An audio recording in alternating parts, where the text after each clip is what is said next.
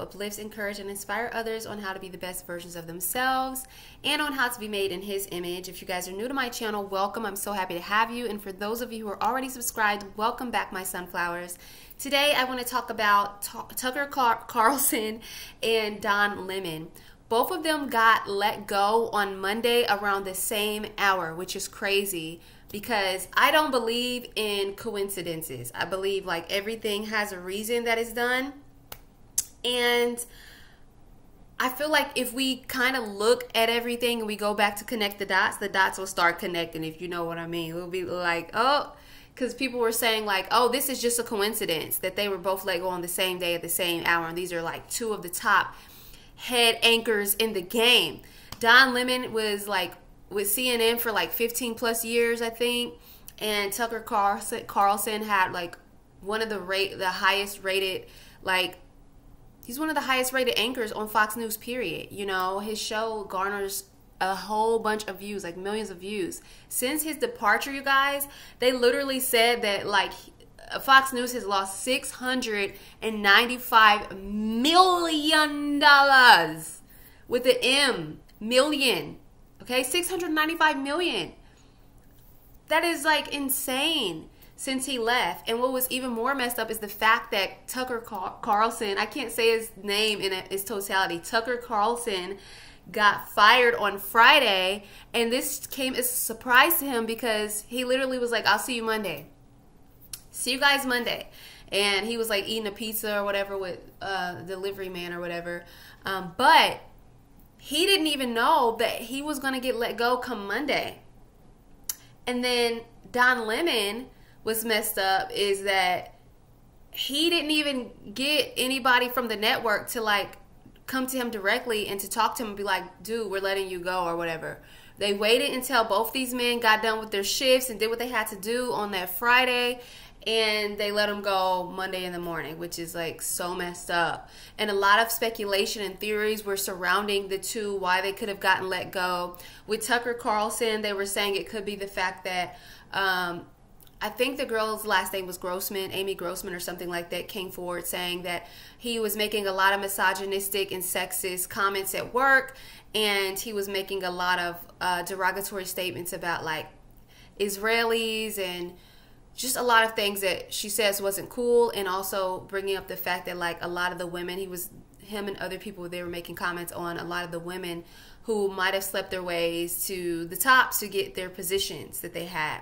So, um, also, Don Lemon was stated that well, the things that were surrounding him was a lot of his comments that he were, he was making, and he even like apologized for a recent situation that had happened with him. And I'll kind of get into that in a minute, but I'll go over to this first. So let's watch this.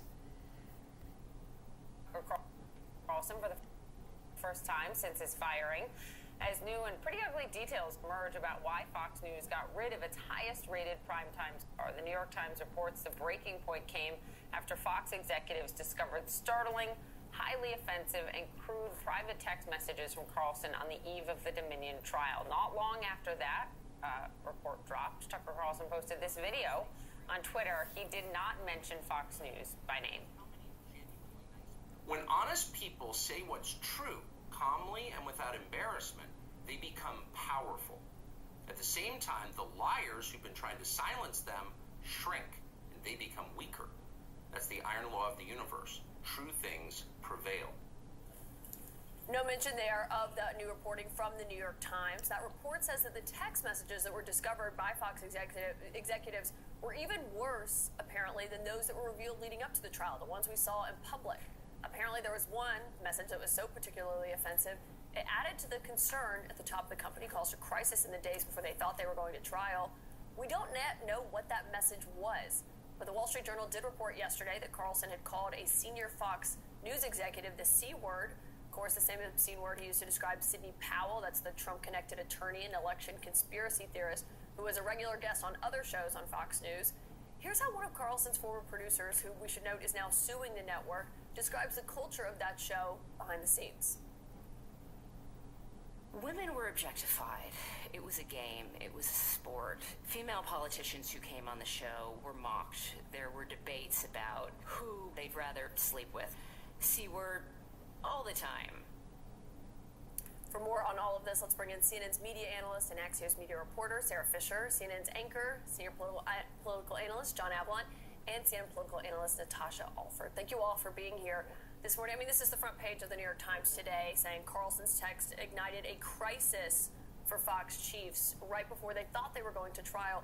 What struck me was, though, the attorneys had these messages for months. Why did the executives not see them until the eve of that trial? Well, it could be in part because they're redacted. Well, the executives should be seeing them regardless, but the fact that they're redacted means that they're not going to come into public view. I think another crisis is you don't know when things are going to become unredacted either in the future. And so if you're leading into this trial, you see this stuff that's coming out, you're surprised by it by management, but then you're also worried that from a reputational perspective, if and when this ever does become public, you then have to deal with that crisis at a certain point. And that's where it becomes a huge risk.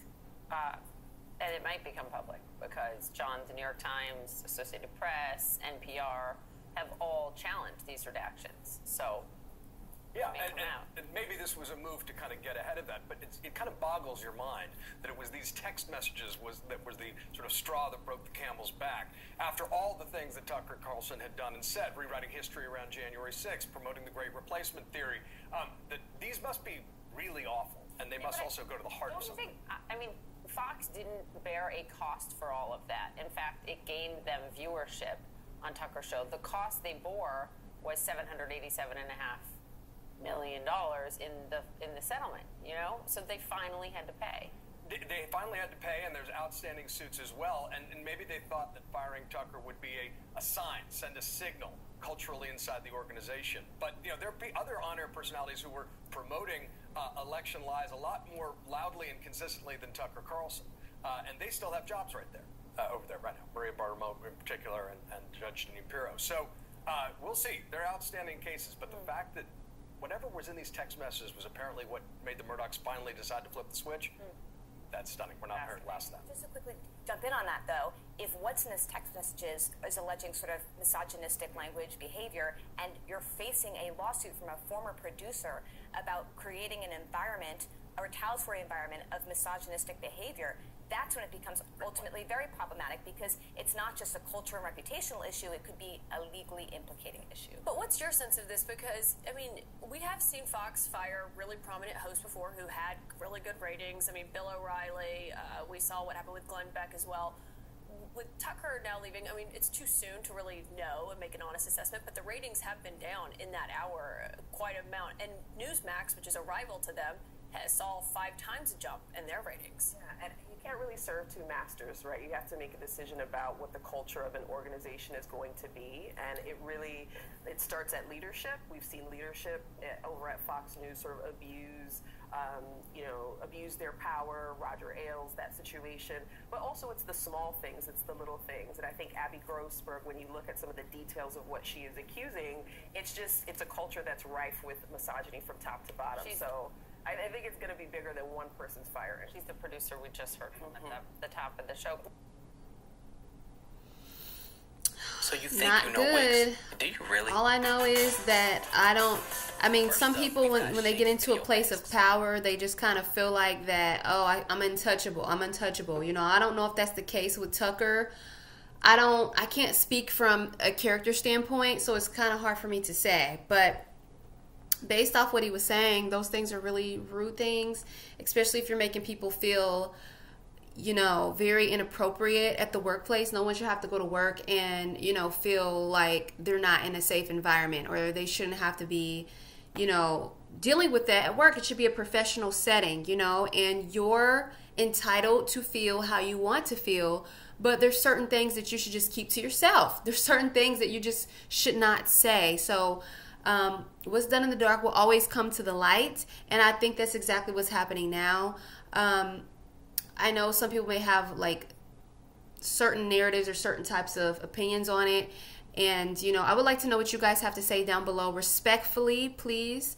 Um, but also, like Don Lemon, he was let go, as we know, and he he was under fire before because he had said something about women should not be paid more. I think he was referring to soccer. He was saying like men soccer players should be paid way more than women should be paid because the men are way more entertaining than the women. And so like comments like that where it does sound a little bit sexist or you may come across a certain type of way, those things are getting people fired. Like you can't say and do things like that. It's not cool and you know, it just it's catching up to people. That's what's really going on. It's just catching up to people, whether you have a big name or or not, whether you bring in a lot of ratings or not. These companies are like, look, we have to let you guys go. Like we could get sued for the things that you guys are saying. Um, and Don Lemon also referred to someone as um, being in her prime. So it was I forget what her name was, but I think her name was Caitlyn or something. You guys, if you know what I'm talking about, you guys can let me know. But he basically had stated on one of his morning shows that he felt like a woman was past her prime already and that he considers women in their 20s, 30s, and 40s to be in their prime. And one of his co hosts was basically saying, like, please clarify what you mean by that. Are you meaning by chair bearing years prime? Or are you talking about in her prime to be a president? And he was like, don't shoot the messenger. I'm just stating facts. So things like that he had to be off the show for like three days after that and then he like apologized through a tweet or something like that and then he was able to come back. And now um, i know there was a clip of him where he was I guess getting on the people who was talking to him in his ear, he was like, I, I would like to, ask, I would like to ask the questions, but I can't if you guys keep talking to me every minute in my ear. Like, please stop. And he just like snapped, you know what I mean? And I just feel like he's not gonna go quietly. So these two guys, there's gonna be more stuff being revealed, whether in their favor or against them. I don't know, but we're definitely like I just know that this is just the tip of the iceberg, and that more will be revealed in due time. So prayers to everyone involved. I just hope that, you know, truth will prevail. Everything that is done in the dark will come to the light. And if there's evil people involved at play or foul foul things are going on behind closed doors, that that be revealed in the name of Jesus. And I thank you guys so much for watching with me. I love you guys, and I'll see you in the next video. Mwah. Have a good day.